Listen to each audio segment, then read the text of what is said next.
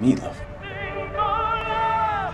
You do not like this song. Anything for You have to turn it off.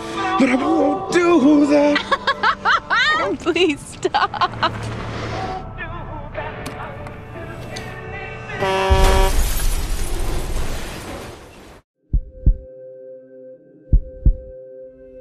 It's okay. You're in the hospital. You were in a car accident. How do you feel? My head hurts. Anyone else hurt, doctor? Uh, hey, you, you know who I am, right? Yeah? You're my doctor.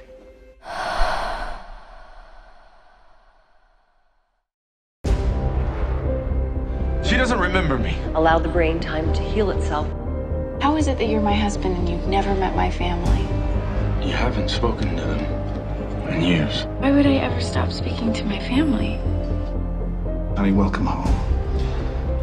To family. To family.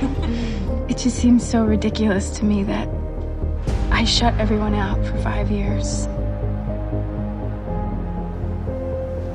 It just doesn't feel right. What I remember is being in law school and being engaged to Jeremy. Ex fiance Jeremy? Oh, no, no, no. In her mind, it's current fiance Jeremy. I barely even know who I am. And then it turns out you're lying to me. Paige seems perfectly herself again. It's wonderful.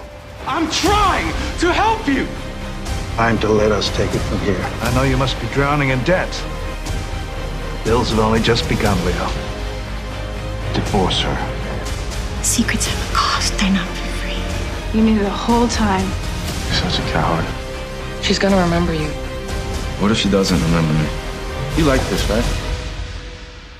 I like it a little bit. She outgrew you.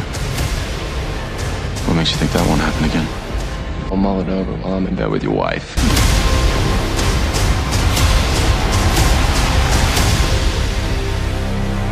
What if she doesn't remember me?